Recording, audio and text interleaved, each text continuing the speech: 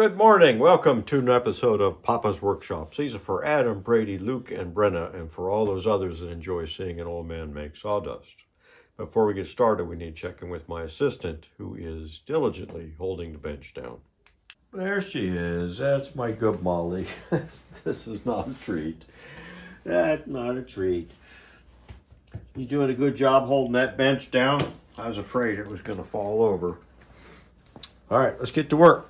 All right, uh, so this is part nine of the Newport style card table. We're going to finish. We've got the construction actually done in the previous episodes. Um, so we just got some details to wrap up and then uh, we'll start the finishing process. Uh, the first detail is the underside of the, the fixed top. On a field trip today, we're at the uh, Kansas City Woodworkers Guild and I'm engraving underside of the tabletop. So you got a date on there. So here's the results of the, I went to the guild and, and burned that. I filled it with, I, I sealed it with shellac and then I, I painted it with black paint so that it would stand out once I darkened this. Uh, but it bled a little bit and I don't want to risk sanding it completely off. So this is going to be on the underside of the fixed uh, table, and I've pre-drilled the, the holes for the screws. Um, I don't know how the original, how they attach the top. I'm using screws. Okay, here are the screws that I'm going to use to attach the top. They're number 10s, an inch and a half, but you can see how shiny they are. And uh, I did get slotted screws. I don't know. Screws in the 18th century would have been handmade, and they wouldn't have been many. In fact, the original may have even been nailed on. I, I don't really know. But we're going to make these at least look older. Um, we're going to get rid of the shininess. And like I said, I use slotted instead of Phillips. Uh, so what we need to do is just put this, this is just water in here and we're going to put a little bit of citric acid. It's just you get this at the canning, any place that sells canning supplies, grocery stores, Walmart, those kinds of places. Um, so you just put a little bit in there. Doesn't take a lot.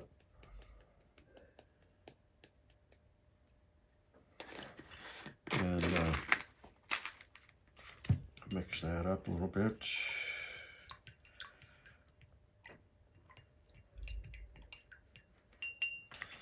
And then just put these in there. This will dissolve the uh, the zinc coating that's on these screws and make them look just bare metal. And uh, then time will make them look older. You let that sit for like maybe an hour, a little bit less. And uh, you can actually, if you wait, you can start seeing it bubble a little bit. It doesn't give off any odor or anything. It's completely safe to put down a drain. So, so we'll let that set and then we'll take a look at it. So here are the screws after they've been uh, rinsed and dried off. And there's what the original was. You can see it makes quite a bit of difference in their appearance. And you can do other things to make them look older. Um, I've heard of, of putting them in vinegar a little bit to darken them. Um, also uh, heating them up and putting them in coffee grounds, kind of turn them brown, but I'm just going to leave them like this and they'll just age naturally from there. All right, we're going to start some of the prep for the finish. Um, I'm going to use a uh, aniline dye to darken this. I want it to match uh, uh, the coffee table that's in the family room where this is going to go. So, um, and that's a water-based dye. So what we're going to do is I've sanded everything by hand on all the pieces uh, so to get them all the machine marks are out. And um, so now we're going to uh, wipe it down with just a damp cloth, get everything wet, and that'll raise the grain. Then we'll go back and get the little fuzzies off. And also if there were any dents that I sanded over that may, may pop up we, we can we'll fix those. Um, so it's kind of a do what happened there. Um, all right, so we just get a little rag here. It's just a bucket of warm water, and we're just gonna wipe this down. I know that seems like all this time to keep the wood dry, and now we're getting it wet. You don't have to get it super, super wet. So we'll just go around and do that. All right, one more little detail thing we got to do is I want to put a chamfer on these edges and just a very slight one on this so that as the leg swings out, it doesn't scratch the, the top. Um, so one thing that makes uh, doing end grain easier is to put a little bit of uh, either alcohol or mineral spirits. I'm using alcohol. That will make it a little easier to, uh, I just want to put a slight, slight one on this.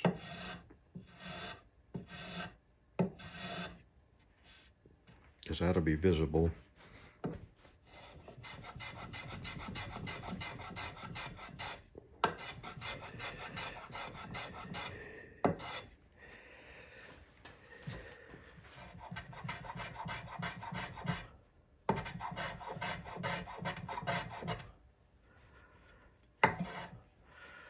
And of course the, uh, this one will have to do with just a, a chisel.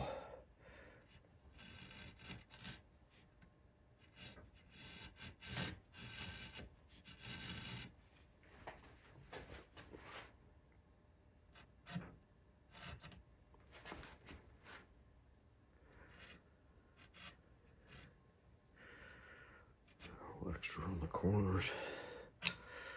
Oops.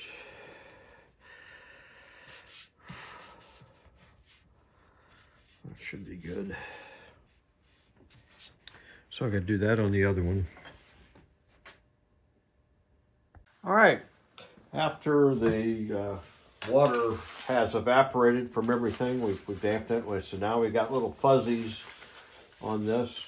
So we're just gonna take some brown paper and just rub it down and that will make it nice and smooth. Now this this won't uh, this won't guarantee you won't have any more raised grain after the dye, but it will help quite a bit.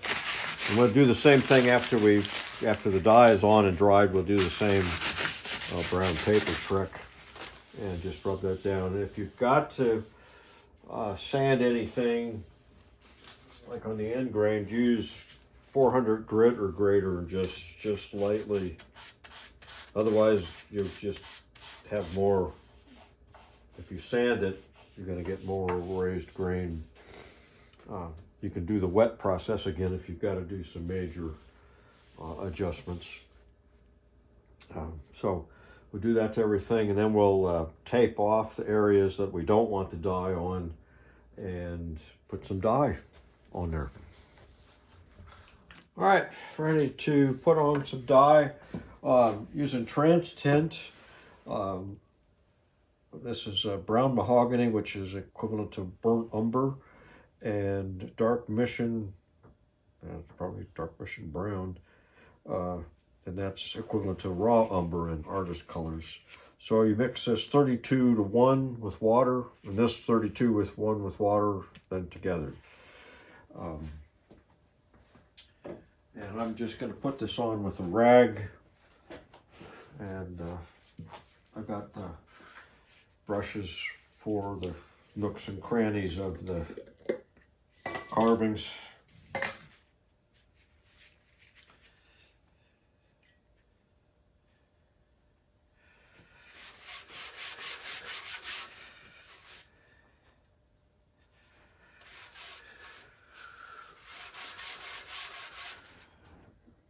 Once more, here we go.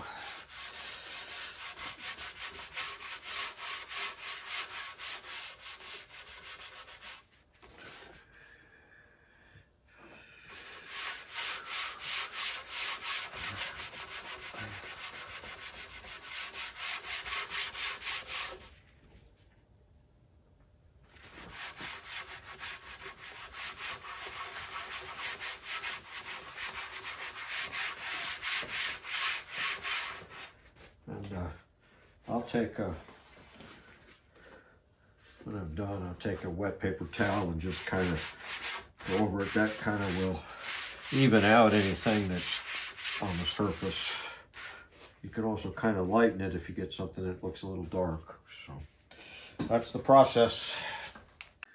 Well, I thought I had remembered the color that I used on the uh, coffee table that's I'm trying to match.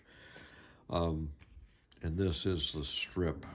And these, these are my color uh, boards. So this is the different steps for this particular finish. Um, so this is just the dye, and then the dye with some shellac, and then there's a glaze, and then more more finish. So I got these other two, and the finish that's on the coffee table is closer to this, this right in here. So it's much redder than that. So I went and added another layer of red dye, and so that's what it looks pretty, it looks pretty bad right there. I mean, as far as it's being really too red. But after we put on the the dark shellac, it'll it'll go from from this to this, and then we keep going. It'll it'll just get darker. So so we're ready to uh, uh, spray things. So I think I'm going to go ahead and assemble the hinge and then I'll be able to spray this while it's standing up um, and then we'll do the two tops separately. So I have to glue the fixed piece of the hinge on to the table. I'm going to do that and then and put these in uh, and then we'll be ready.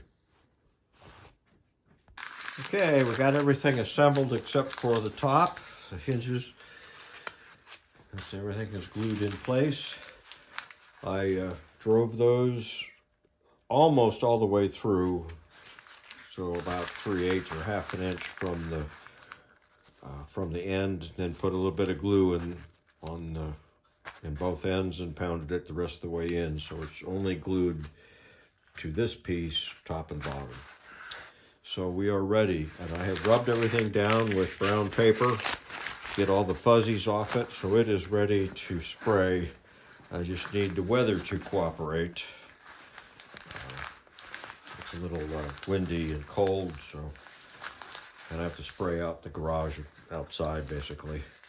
So here in a few days we'll start putting on some shellac. All right, this is what it looks like. I got about uh, three or four coats of shellac on there and I just sanded it down with 400 grit and uh, gray scotch Scotch-Brite pad. And so now I just need to uh, get all the dust off it. So that's kind of the way it looks. Today's a rainy day, so I just brought it all down in here in the shop. And I'll take it back out to my makeshift spray booth in the garage. Now cherry is a closed uh, grain wood, so it's pretty easy to get the uh, the grain filled with just a few coats. The tops the two tops, I'll probably put some extra, get it uh, good and smooth. And uh, so we don't see any of the grain structure on the on the uh, reflections. So we're getting there. All right, I think we got enough finish on. Um, but you see it's really shiny and and I don't like that look. So we have to rub out the finish and, and, you can see where the light hits there's there's a little bit of the grain still and grain's not quite filled so it's it's a little uh, bumpy I guess. Um, now you could French polish this and get it absolutely glass-like but it's still too shiny when you do that. Um, so what I do is I take uh, 400 grit or 600 grit, something like that, and uh, just lightly sand it and get it down to you got these little I use this green pad to wipe off the corning the little specks of uh, shellac. Now the more time the shellac has had to dry the less you'll get of that but um, this hasn't this is only sat overnight so. Anyway, so I'm gonna sand this down to where it's almost got all of the grain out of there. I could I could spray it again and uh, you know try to get it absolutely flat, but it really isn't necessary.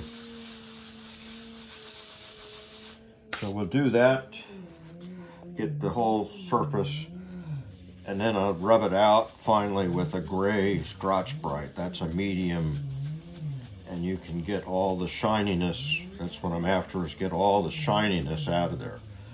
Um, so what it'll look like, I got this other side already done.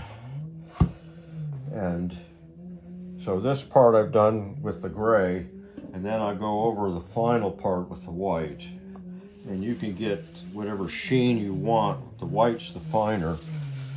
And you see, it just kind of cleans right up with that. and gets us a nice, nice smooth finish that isn't shiny. So now what I'll do when we get everything to this to this point where it's not shiny, um, then we'll put on a coat of wax, paste wax. And I use a dark brown paste wax. It won't add much color to the to the to the uh, tops, but on the carvings it'll highlight. It'll get stuck in the corners and it, and it gives it an aged look and, and makes it look, you know, makes the carvings pop a little bit more. So we got to get everything to this, this level, then we'll be ready to put on the paste wax. Now here you see we got some, I, I went over that with 600 paper just to highlight the, the runs from the spraying. So what I do is just take a small scraper and just very lightly, you can hit the tops of those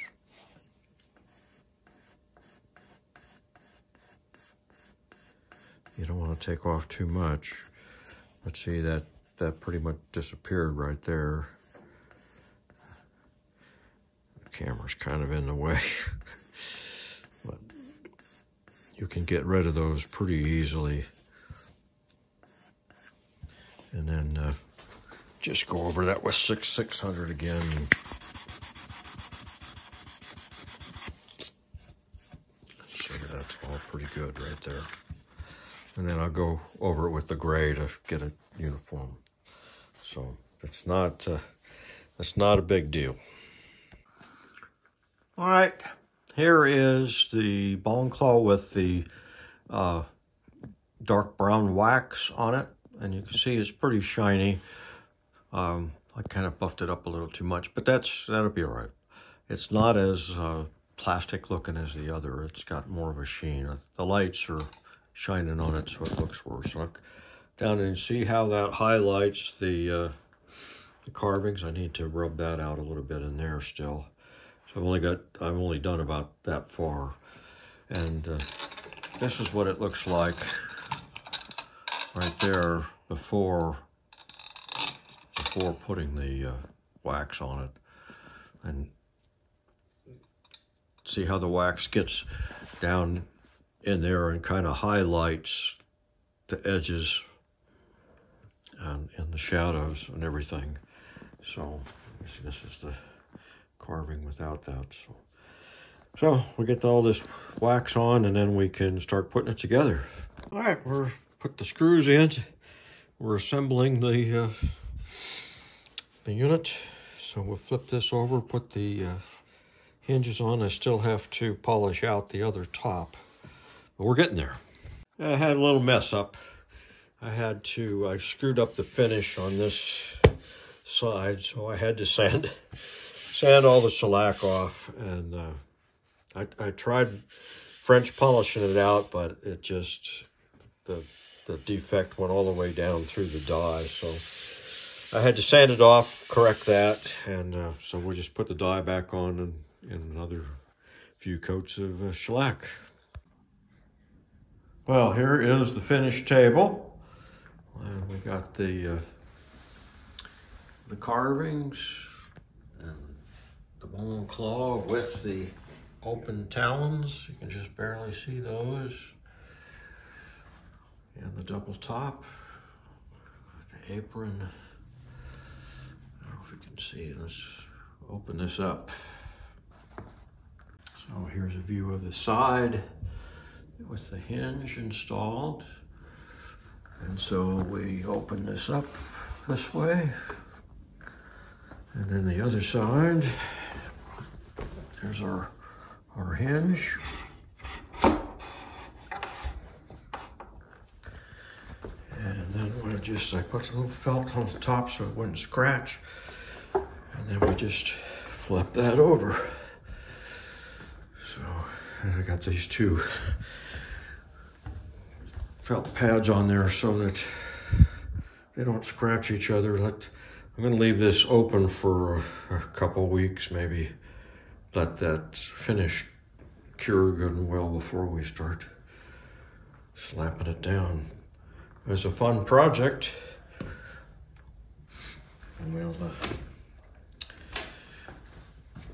that's about it. We will, uh, uh, not really sure what I'm going to do next. We got some home improvement projects coming up, so uh, it may be a little bit, but uh, there will be another project. Until then, thanks for watching.